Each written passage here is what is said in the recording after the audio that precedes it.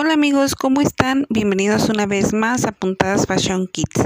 Quiero mostrarte el accesorio que realizaremos esta semana, que es este hermosísimo moño de charro. Es un moño súper fácil de hacer y para realizarlo vamos a necesitar un par de broches. Bueno, los broches son totalmente opcionales y solo los utilizarás en el caso de que quieras realizar este moño para el cabello. También necesitaremos dos tiras de tela. Como este moño lo voy a realizar para el vestido de fiestas patrias, utilizaré esta tela cambaya al doblez de la tela y colocando entre tela para evitar que se deshilache. Pero también podrías realizarlo sin cortar tu tela al doblez, dependiendo de qué tipo de tela utilices. También podrías utilizar del listón más ancho que encuentres y reducir 10 centímetros en las medidas y también obtendrás un resultado maravilloso. Dicho esto, demos inicio con nuestro armado. Estos pequeños cuadritos o rectangulitos son los que me sobraron al recortar estas dos tiras. La tira más grande tiene una medida de 80 centímetros de largo por 20 centímetros de ancho, mientras que la más pequeña tiene una medida de 70 centímetros de largo por 20 centímetros de ancho. Y a cada tira le he recortado una tira en entretela. Esto nos ayudará a evitar que nuestra tela se deshilache. Recuerda que la entretela y el doblez de la tela dependerán del grosor de la tela que utilices o el listón que utilices.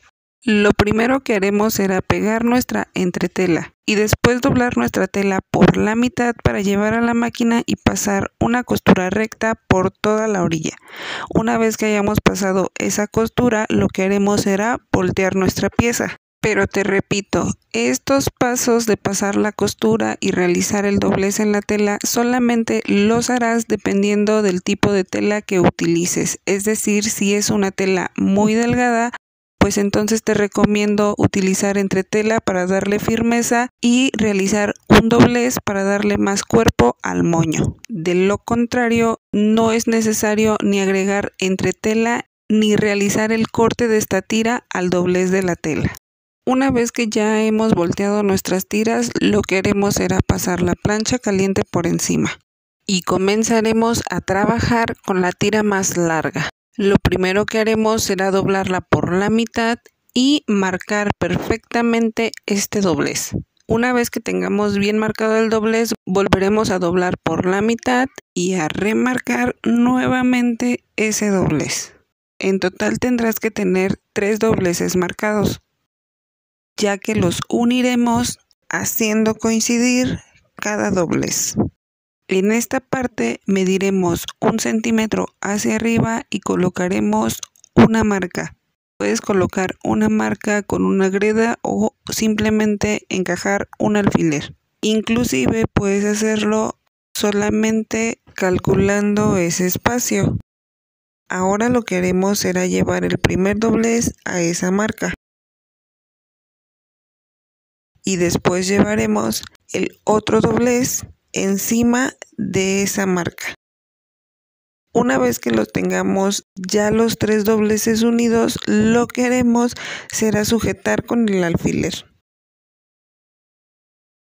Tomaremos aguja e hilo y pasaremos un par de puntadas guiándonos de esta línea recta que tenemos en esta parte. Estas puntadas no tienen que estar ni parejas ni iguales, solamente son para que podamos fruncir esta parte. Así que una vez que las tengamos ya realizadas, lo que haremos será tirar de nuestro hilo y de esta manera estaremos frunciendo esta parte del moño. Ahora con el hilo daremos un par de vueltas alrededor de esta parte del moño tal y como te muestro en el video. Realizaremos un pequeño nudo y cortaremos el excedente de hilo. Y listo, aquí tenemos ya nuestro primer moño. Este es un moño base. En esta parte de abajo yo no realicé una costura, pero como puedes ver excede un poco la entretela que colocamos a nuestra pieza. Así que lo que haré será retirar ese excedente de tela para que el acabado que tiene en la parte de abajo de deshilado luzca mejor. Este moño ahora ya lo vamos a reservar. Aunque si tú lo deseas, puedes colocar un trocito de tela en el centro y de esta manera ya tendrías un moño para utilizar. Solo tendrías que colocarle o una liga o una pinza y comenzar a utilizar o a vender así de esta manera. Ahora continuaremos con la otra tira que tenemos. Esta también la doblaremos por la mitad y colocaremos una marca en la parte de en medio. En este caso lo haré con una greda para que puedas apreciarlo mejor. Y es muy importante que esta marca la coloques de los dos lados. Una vez que tenemos esta marca, mediremos 3 centímetros hacia la derecha y colocaremos otra marca. Después mediremos 3 centímetros hacia la izquierda y colocaremos una marca más. A esta tira también le recortaré el excedente de entretela. Esto lo hago solamente para darle un mejor acabado y que el extremo deshilado luzca. Ahora tomaremos el extremo del lado derecho y lo llevaremos hasta la primer marca del lado izquierdo. Y justamente en donde se realiza el doblez colocaremos un alfiler para identificar ese doblez. Ahora tomaremos el extremo del lado izquierdo y lo llevaremos hasta la primer marca del lado derecho. Y en el doblez colocaremos también un alfiler. Una vez que tenemos ya esos dos dobleces marcados, lo que haremos será continuar con nuestro doblez. Dejarás tu pieza con esos dobles realizados y lo que haremos será tomar uno de los extremos y llevar la punta de abajo hacia el alfiler que colocamos en el doblez, acomodándola de tal manera que podamos sujetarla con ese alfiler.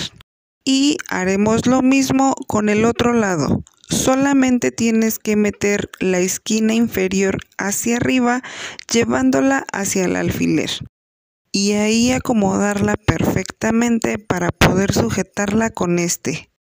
Una vez que tenemos ya los dos extremos sujetos, lo que haremos será girar nuestra pieza de la siguiente manera. Y ahora llevaremos esta esquina hacia el centro, tal y como te muestro en el video. Y de esta manera, esta parte te tendría que quedar recta. Esta esquina tiene que exceder aproximadamente medio centímetro, ya que pasaremos una costura por esta parte. Ahora haremos lo mismo con la otra esquina, llevándola hacia arriba y dejándola de forma recta en el centro y haciendo que exceda por medio centímetro. Sujetamos con un alfiler y una vez que las tenemos ya sujetas tomamos aguja e hilo y pasamos unas puntadas por el centro uniendo los extremos. Y cuando lleguemos al otro extremo lo que haremos será tirar del hilo y dar un par de vueltas alrededor de este moño.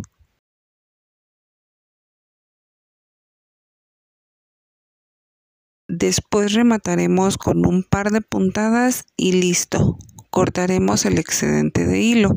Y una vez que tenemos el moño de esta manera, lo que haremos será colocarlo sobre nuestro moño base, pero un poquito más abajo. Ahora tomaremos un pequeño trozo de tela para realizar el centro del moño. En este caso yo utilizaré un pedazo de bies. Lo colocarás de la siguiente manera y si tú quieres puedes colocar en este momento el broche. Solamente tendrás que pegar con un poco de silicón y listo, tendrás un moño hermoso. Este fue el resultado y solo uno de los muchos usos que le puedes dar a este hermoso moño. Bueno amigos, esto ha sido todo por hoy. No olvides suscribirte a nuestro canal y activar la campanita para que te lleguen todas las notificaciones cada vez que subimos un nuevo video. Si te gustó este video, no olvides darle me gusta y compartir para llegar a más personas que lo necesiten. Nos vemos en el próximo video. Adiós.